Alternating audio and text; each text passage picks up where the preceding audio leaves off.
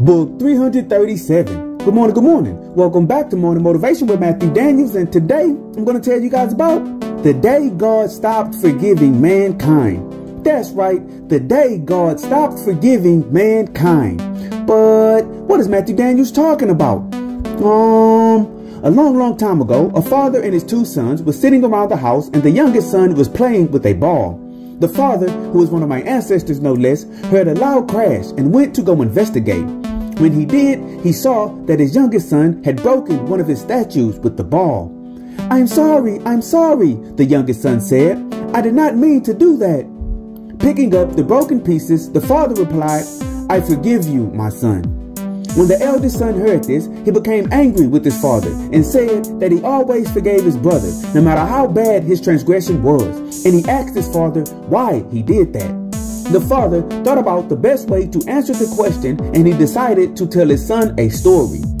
Well, my son, the father said, a long, long time ago, there was a great line of people in the afterlife waiting to have their hearts weighed so that they could be judged and either rewarded or punished. The god Asar, who stood and judged mankind for the great god Amun-Ra, was being very lenient in his judgment, and he was forgiving many humans for their transgressions and allowing them to be rewarded with a blessed afterlife. Because of this, many of the righteous people waiting in line got angry. They began to murmur and whisper to each other that Asar's judgment was not fair. After all, they had spent their entire lives following the edicts of the gods and denying themselves physical pleasures in order to be rewarded. And now they were seeing people who indulged in their lust receiving the same reward. They all said they should not have even wasted time honoring the gods in life. The son of Asar, the god Heru, heard their murmurings and he repeated their words to Asar, and Asar was troubled by what he heard. It appeared that by forgiving the wicked, he was inadvertently punishing the good. Not wanting to punish the good without cause, Asar decided to no longer offer forgiveness in his judgments and instead, he said he would hold all humans accountable for everything that they said and did. The righteous people in line were happy again when they saw the wicked being punished. After this, the good man who initiated the complaints against forgiveness approached the Asar, and his heart was placed on the scale to be weighed. The god Tahuti recorded the results in a book, and Asar proclaimed that the good man would be punished in the afterlife. The good man was shocked and he pointed out all of the good things he had done in his life. Asar agreed that he had done that which was right and correct, but he had also done that which was wrong at times. In fact, everyone alive had done wrong at some point, and even the best of mankind needed to be forgiven for something. Realizing his mistake, the good man asked Asar if he could be forgiven for his wrong acts. Asar told him that he could indeed be forgiven, but that would mean all others would have the option of being forgiven for certain bad deeds as well.